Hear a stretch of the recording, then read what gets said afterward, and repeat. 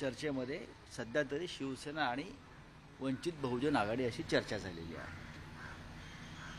पण प्रकाश आंबेडकर यांनी महाविकास आघाडीतले जे प्रमुख पक्ष आहेत मग काँग्रेस असेल राष्ट्रवादी काँग्रेस असेल त्यांच्याविषयी अशा प्रकारची विधानं करणं हे आम्हाला मान्य नाही अजिबात मान्य नाही. विशेषतः माननीय शरद पवार हे महाराष्ट्राचे आणि देशाचे एक उत्तुंग नेते आहेत. ते भाजपचे आहेत असं म्हणणं. हा त्यांच्या आतापर्यंतच्या कारकिर्दीवरचा एक फार मोठं आरोप आहे असं नाही आहे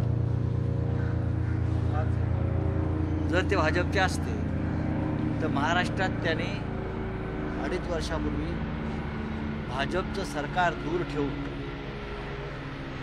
शिवसेनेच्या नेतृत्वाखाली उद्धव ठाकरे यांच्या नेतृत्वाखाली महाविकास आघाडीचं सरकार येऊच दिलं नसतं.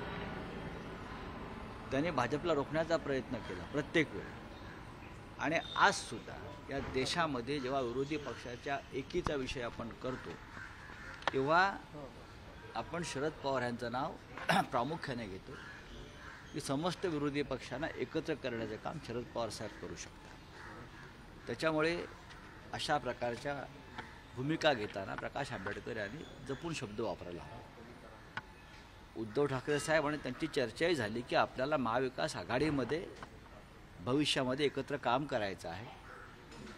तेव्हा जे काही पहिले भूतकाळातले मतभेद असतील ते आपल्याला दूर ठेवले पाहिजेत आणि आपण एक भक्कम आघाडी उभारायला हवी. नाना पटोले असं म्हटलेत की त्यांचा महाविकास आघाडीचा काही एक संबंध नाही प्रस्ताव अजून आलेला नाही राहुल गांधींशी बोलू. माझं राहुल गांधींशी त्या चर्चा झाली सर कर्नाटक सरकार ने बकायदा वकीलों की टीम बनाई है हर वकील को 60 लाख रुपए पे कर रहे हैं इस विवाद के मसले को कोर्ट में पैरवी करने के लिए। बात ऐसी है- सरकार की तरफ़ से कोई तैयारी ऐसी नहीं है गलत है। इस प्रश्न के ऊपर महाराष्ट्र की सरकार ने भी बड़े वकीलों की फौज खड़ी की है ऐसा नहीं है। जब हमारी सरकार थी तब भी हमने किया है। और आज भी वो करते रहेंगे करते होंगे। मैं ऐसा नहीं कहूँगा कि कर्नाटक ने किया और महाराष्ट्र कुछ नहीं कर रहा है।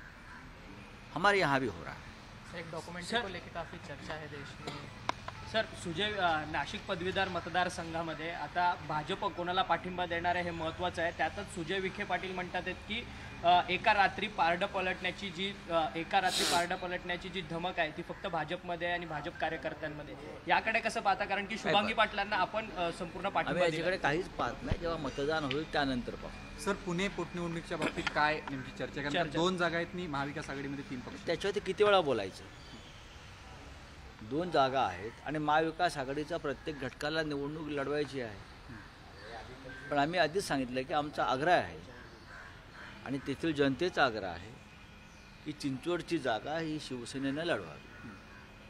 आणि आमच्या पक्षातला तो एक भूमिका आम्ही जी घेतली त्या प- त्या जागेसंदर्भात ती भूमिका आम्ही अजितदादा पवार जयंतराव पाटील आणि सुनील तटकरे हे चार दिवसापूर्वी जेव्हा मातोश्रीवर चर्चेसाठी आले होते तेव्हा आम्ही भूमिका स्पष्ट म्हणलं की चिंचवडची जागा की आम्ही लढू शिवसेना लढेल. आणि कसब्याच्या जागेसंदर्भात काँग्रेस की राष्ट्रवादी याबाबत आम्ही बसून निर्णय घेऊ. सर काल जे काल उद्धव ठाकरे ज्यावेळी ठाण्यामध्ये आले होते त्यावेळी राष्ट्रवादीचे जितेंद्र आव्हाड हे त्यांच्याबरोबर सावलीसारखे मागे मागे होते. तर असे आरोप केला होता की हे संपूर्ण शिवसेनेचा कार्यक्रम हायजॅक करायचा छे छे असं काहीतरी होतं. कार्यक्रम शिवसेनेचाच होता. महाविकास आघाडीचे एक माजी मंत्री म्हणून ठाण्यात आले असतील. जितेंद्र आव्हाड हे ठाण्याचे नेते आहेत त्यांच्या पक्षाचे. आणि माजी मुख्यमंत्री आहेत उद्धव ठाकरे. त्यांच्या मंत्रिमंडळात त्यांनी काम केलेलं आहे.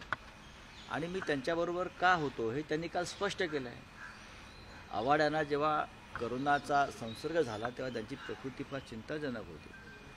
आणि तेव्हा एक कुटुंब प्रमुख म्हणून उद्धव ठाकरे यांनी आव्हाडांची जी काळजी घेतली त्या भावनेतून तिकडे आल्याचे त्यांनी स्पष्ट केलेलं आहे. सर